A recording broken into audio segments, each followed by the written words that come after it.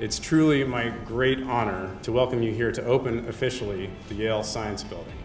As I began to contemplate the possibility of a move to Yale not long ago, work on this magnificent structure was just hitting its stride. This vision drew me here to take part in what was an unmistakable sense that something new and different was happening.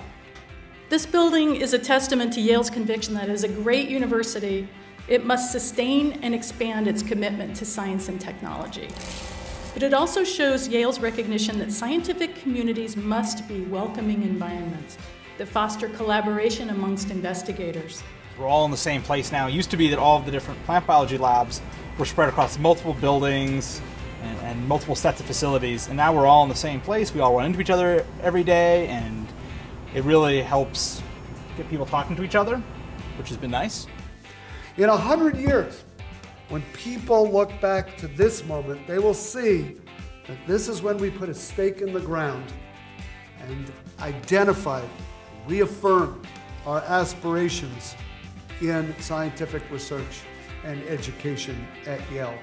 And they will see that this building played a vital role in fulfilling our shared vision to accelerate the pace of scientific discovery at Yale in order to benefit the lives of people around the globe.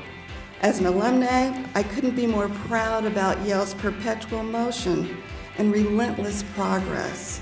As mayor, I couldn't be more pleased that it's happening right here in New Haven. Congratulations again.